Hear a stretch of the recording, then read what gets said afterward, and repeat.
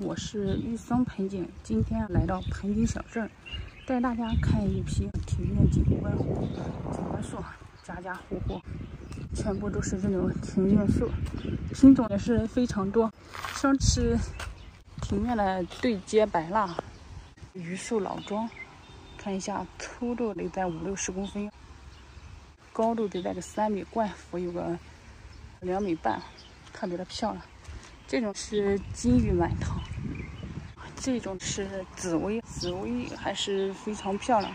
看一下装体，都是非常不错。看花舍里面全部都镂空，树皮是非常的光滑洁净。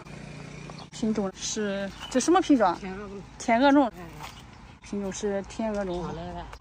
这边是榆，也是榆树盆景。这一棵是一棵狼榆，粗度在四十多公分。盆上高度三米，冠幅有个三米，特别的漂亮。有个庭院别墅，种上一棵还是非常不错的。像也是紫薇老庄，品种也是天鹅绒。看一下整体根盘全部有宝石，还有树皮都是非常光滑，特别的不错。高度在三米，冠幅有个两米半左右。这种是羽毛枫，是。元宝枫，一本双干的老庄元宝枫，特别的不错。每一块桩体都在三十三十多公分，像这根盘都在一米左右，盆上高度在个两米，冠幅有个两米。后面一棵青檀，这棵青檀也是相当漂亮。这是玉树，是玉青檀，青檀。这也是一棵青檀老桩哈，树形都是非常漂亮。全部又镂空了，对哈，这个地方已经镂空了。